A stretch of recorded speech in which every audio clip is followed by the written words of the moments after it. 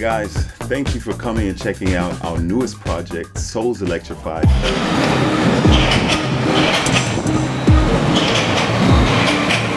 What we've made is quirky, honest, soulful storytelling that's not just about the I, but it's also about the we and about passionate, collective thinking. Oh. Both Quinn and I were influenced by different kinds of music, ranging from classical to jazz to hip hop to electronic. And when we met, we vibed on many levels musically.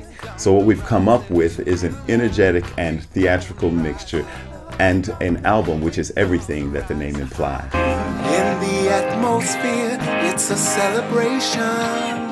Souls electrified, nighttime it shows.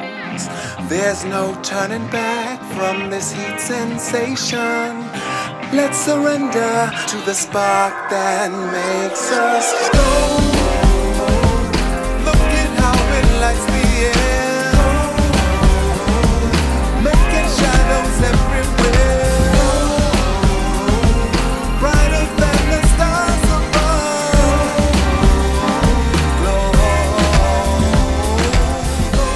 Really long process so far. I mean, literally, this has been years in the making with lots of travel.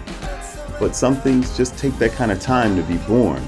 And I gotta say, it's been worth every bit of time and every drop of blood and sweat that we put into it. We're pretty proud of the result. We're pretty excited about it as well.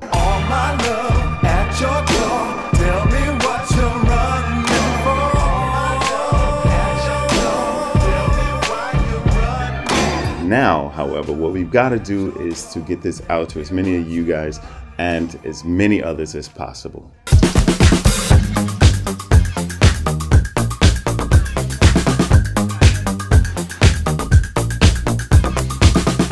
What we've done so far is the songwriting, the arranging, the studio recording, and the pre mixing. With you guys' support, we can finish the mixing and mastering process and move forward with artwork, packaging, and distribution. If we reach more than our goal, then we'll use those funds for promoting the album. For each of our supporters here, we've got some special packages planned, including limited remixes, special, unique artwork, and some other fun stuff just for you guys here.